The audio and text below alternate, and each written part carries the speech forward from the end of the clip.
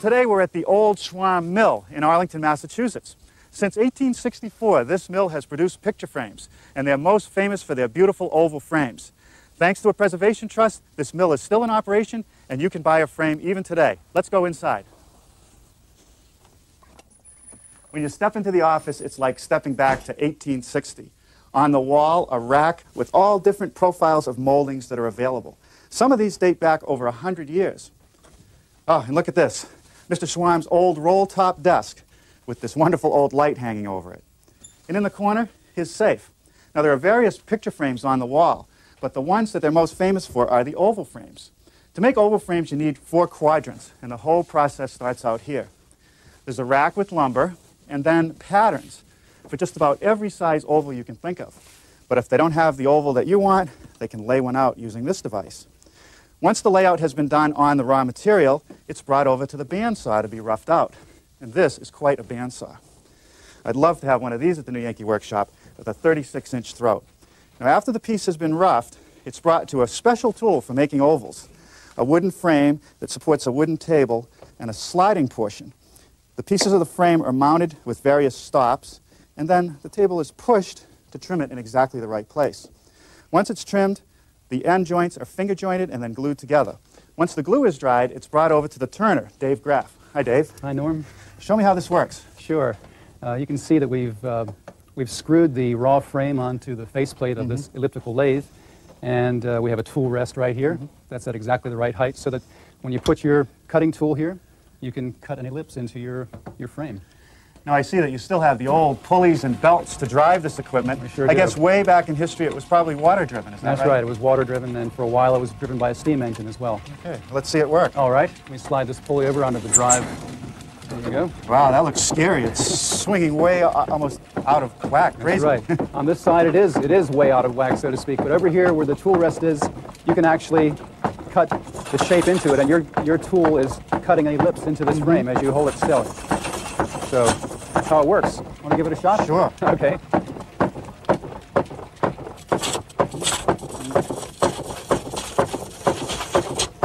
Well, it would take a little practice, but I think I could get it. I'm sure you could. Thanks, Dave. You're welcome. Of course, you can order the frames in a variety of finishes. But over here, Andriana Rashman is applying gold leaf. I see you have a packet of thin right. sheets of gold. This is 22 karat gold mm -hmm. leaf. And we cut it with a knife, okay. homemade tip. And we need static so you on rub the it tip, on your face, okay. Right? And we pick up the gold. Right. It sticks very So it doesn't turn into a ball. It stays nice and flat. Right. And you're setting it on a wet surface on the frame. Right. This is alcohol and water mm -hmm. to make the glaze activate and make it stick. Wow.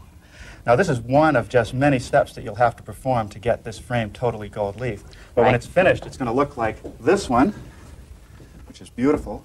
And of course, you can still order frames like this from the mill, right? Right. But we have to wait a little while. Be patient. Right. Now, next time you're in Arlington, Massachusetts, whether or not you need an oval frame, you must stop by the Old Schwamb Mill. It's a woodworker's paradise. Now, here's my attempt at building some picture frames. I've tried several different versions, and I'll show you what I've made. I haven't set any glass in these yet because I want to finish the wood, but this particular frame is a shadow box. It's very deep, and it works well with a portrait picture like this. This is a menu from my favorite restaurant in London. I've surrounded it with matte board in a very small frame, which seems to work well. This is a piece of beveled mirrored glass, and I made a fluted frame out of oak to surround it. And here's a picture of an old house that I'm particularly fond of, and I've surrounded it with some matte board in an old-time frame. Now, after making these first few frames, I must say I have a lot more respect for people in the picture framing business. Assembling the wood frame is the easy part, but picking the right frame and the right mat board for the picture, now that's art, and I'm not really an artist. Now, choosing wood for the various frames, I first went to my lumber rack and pulled out some stock moldings that I have here. This is a crown molding, this is a cornice molding, and what I discovered quickly was that there's not enough wood, and there's no rabbet to support the picture itself. However, I did find one molding that you can buy at the home center that will work. This is actually a picture molding that's usually placed on the wall up high. You can place a hook around this round portion and hang your pictures. I thought that if I add a piece of wood to the back side, it will give me a rabbet. It's actually quite a nice profile for a picture frame. Now this piece of wood here was actually part of a molding that I bought at the home center. It's sold as a decorative molding, and this is not carved, it's actually pressed in place. It comes in eight foot lengths, and it already has a rabbet in it, which makes it good for making picture frames, like the one I used around this old house picture. Now, I have one more picture I want to frame with that molding. It's this one right here. It's a picture of some friends of mine in their younger day. But before I cut any wood, I want to cut the mat board. I picked up my mat board at an office supply store. And it turns out that there's an unlimited selection of colors and textures. But it seems that the basic whites work the best. So I'm going to use this one right here for our photograph. And the first thing I want to do is set the overall size of the mat. Now I want to cover this white border on the photograph with at least two inches of mat. And then I want to allow another half inch to fit into the rabbet. So that's what I'll use at the side, and I think the same at the top. But at the bottom, picture framers say we should make that a little bit wider. So I'm going to make the bottom two and three quarter inches. A good sharp utility knife, sometimes called a mat knife, is the best tool for making the overall cut. With the window laid out on the back of the mat board, I'm ready to cut it. I don't want to make the cut perpendicular because that'll leave a shadow on the artwork. I want to bevel it back.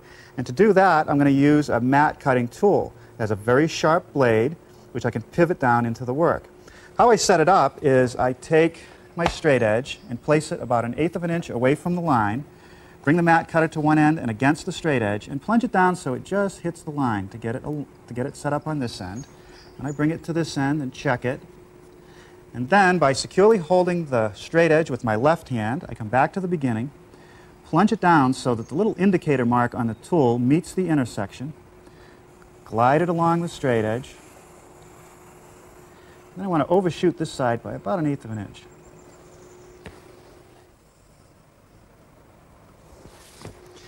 Okay, well that works great. Now with the mat board cut, we have the overall dimensions to start making the frame. Now I want to show you a foolproof method for calculating the lengths of the frame pieces. Take an actual piece of the molding and measure the width, not including the rabbet. So in this case, an inch and 3 sixteenths. Double that measurement because there's a piece on each side of the frame for a total of 2 and 3 eighths. Hold the 2 and 3 eighths measurement right at the edge of the mat, come down to the other end and read what you have. So I have 20 and 13 sixteenths. I want to add a sixteenth for a little extra free play for a total of 20 and 7 eighths for the long sides of the frame. I use the same method to calculate the short sides.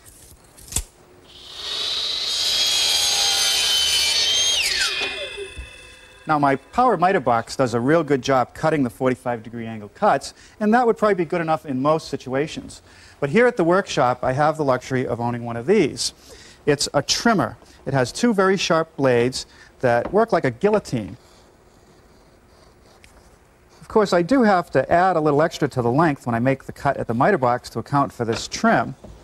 But believe me, that is a perfect 45 degree angle. Here's a tip. To ensure that the joints are going to fit perfectly, it's absolutely essential that opposite sides of the frame are cut to exactly the same length. To join the corners of the frame, I'm using a yellow carpenter's glue. And to secure the corner while the glue dries, I'm going to use this spring clamp. It's actually a tool that I slip on one of these springs. And then I spread it open, bring it over the corner. It'll dig into the wood and squeeze the joint together while it dries. But while this frame dries, I'll show you how I made the molding for this frame. It's a half round on the front and rabbeted on the back. To make that, I'm going to be using my router shaper. And before we use any power tools, I want to take a moment to talk about shop safety. Be sure to read, understand, and follow all the safety rules that come with your power tools. Knowing how to use your power tools properly will greatly reduce the risk of personal injury. And remember this, there is no more important safety rule than to wear these safety glasses. And where applicable here in the workshop, I wear hearing protection. Now let's take a look at the cross section of that molding. The front is half round, and I want to do that first. So I've set up a bit that may look a little bit odd, but what it is is a multi-profile bit. It'll make combinations of all different profiles.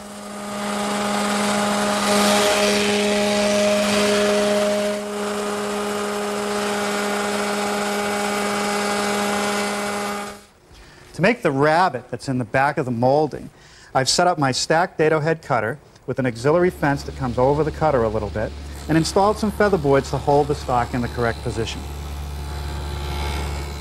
Now here's the subject for this frame. It's a botanical print and the mat that I've chosen is a forest green linen type mat. And I really like the fact that when you cut the window, those angles reveal the white underneath, which really helps to offset this print. Now there's another reason for using mat board. It separates the artwork from the glass we're going to put over it. Now my frame is all ready to be glued up, except this time I'm going to use a slightly different clamping system. It's threaded rods and corner blocks. I've had it around the shop for quite some time, and it works really well.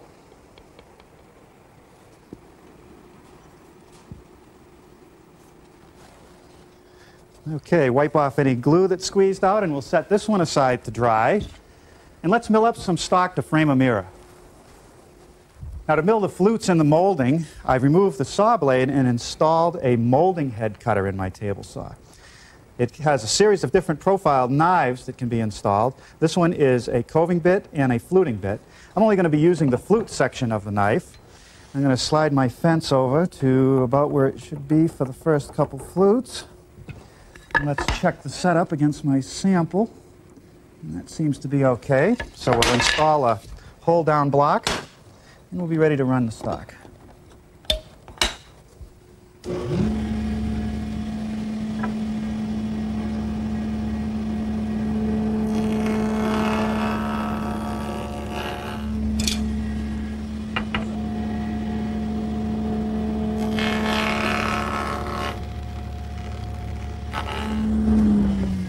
Okay, well that takes care of the two center grooves. Now I'm going to move the fence and do the two outside ones.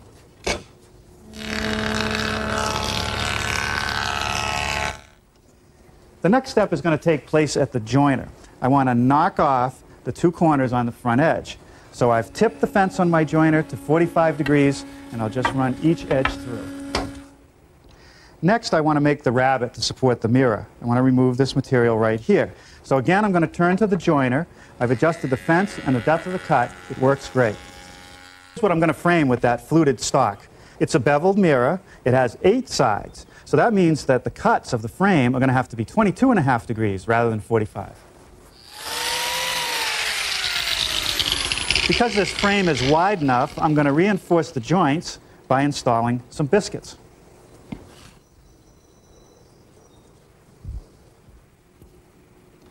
These biscuits will really make these joints strong. Now to clamp all the joints tightly together, I'm using what's known as a band clamp. It's a piece of nylon tape that fits through these plastic pieces that go at each corner. And this device right here has a ratchet in it so I can tighten it right down. And once I get it set, we'll just set it aside to dry. Well, after those joints dried overnight, they're never going to come apart and it still fits the mirror. Now I got one more frame I want to build today. The shadow box. Now I made the frame out of pine, and if you'll notice, the mat board is beveled as well as the frame. And what that does is it brings the eye right to the artwork. If we look at a cross section of the molding, you can see that it's rabbeted at the back, and here's that bevel, but it doesn't come right to a point. There's actually a little section of flat on the frame. Over at the table saw, I've tipped the blade to 20 degrees and adjusted the rip fence so it'll end up with that flat portion I just showed you. And once again, I'm going to be using pine for the frame, and I'll run it through right on the edge.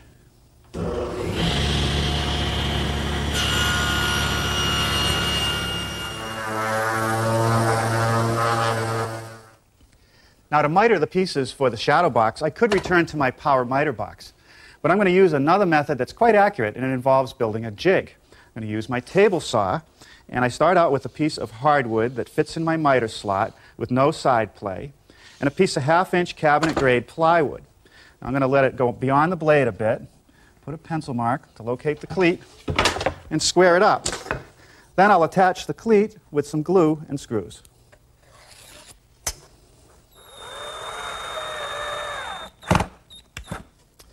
Now I want to trim off the excess plywood. I'll just raise the saw blade up, and after I've made the cut, I'll know that this edge is perfectly parallel to the blade. Now using my framing square, I want to lay out a couple 45 degree lines to this edge. And I know that if I take a framing square and use a measurement from this inside corner to a measurement of, say, 11 along this leg, and do the same along this leg, that I then will have perfect 45 degree angles here and here. So I'll draw a couple lines and attach some hardwood blocks with some more glue and screws.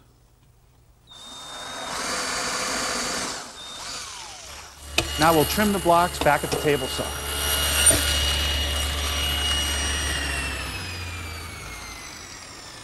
Okay, now there's one more thing I want to do, and that's a safety issue. I want to add a block of wood right here as a saw guard. Now we're ready to cut some moldings. If I were cutting a flat molding, I would place it in front of the forward block, pass it through the saw, and that would produce a perfect 45 degree angle. However, my shadow box molding is narrower than it is wide, and because it has this bevel, it can't be supported against the block very well. So I'm going to set it behind the block on the flat edge, I'll have to hold it a little more securely, but it'll still give me the same cut. I'll run all four pieces on one end.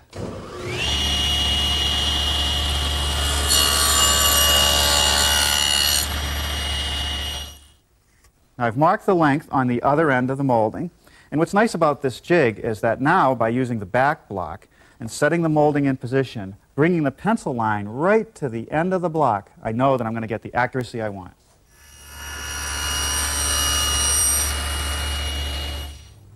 Now there are any number of corner clamps available which will help bring the joint together so that I can install some brads which combined with the glue will hold the joint together. Now let's talk about mounting the artwork to the mat. I place the mat face down on a clean board, take the art and center it on the back side. I want to attach it with some tape. And this is not just ordinary tape. It's tape that's specially made for mounting pictures that I got at my paper supply store. And I only want to use enough to hold it in place because the sandwich of glass and backer board will do the rest. The glass that I'm going to use is a single strength glass that I picked up at my glass supplier. And right now I want to make sure that the inside that's going to be up against the artwork is absolutely clean. Well, now for the final assembly. I've taken the frame and applied two coats of gloss polyurethane. First thing I want to do is set the glass without getting any additional fingerprints on it.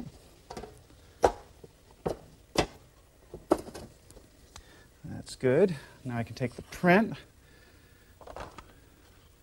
set that in place. And the last thing to go on is a piece of 1 8 inch hardboard as a backer. Now I'm going to secure everything with this framer's tool which I put up against the inside edge, hold a handle, and it drives a point that looks just like this, holding everything in place. Now, this method of hanging pictures has been around for a long time, and it still works just as well today. A couple screw eyes on each side of the frame, about a quarter to a third of the way down from the top. And then the most important thing, some braided wire. And we'll just stretch a piece across, twist it around on each end, and we'll be ready to hang the picture. All right. Yeah, that turned out pretty well. Now, once I get the rest of the frames completed, hey, we'll be ready for a gallery opening. Well, here's our collection of picture frames. Our menu with a black polyurethane finish, a picture of our friends with a gold spray paint. Our botanical has a frame that's just varnished. And this old house has a spray paint gold frame with a black stripe painted in it. Of course, over here I have the shadow box, which is a varnished finish, our mirror with an oiled cherry, and of course our poster from Tivoli with a white painted frame. And for some right good art to put you in your frame, try the joy of painting at 9 this morning. But next, Rex Hunt Fishing Adventures from Down Under. Keep it Discovery Real Time.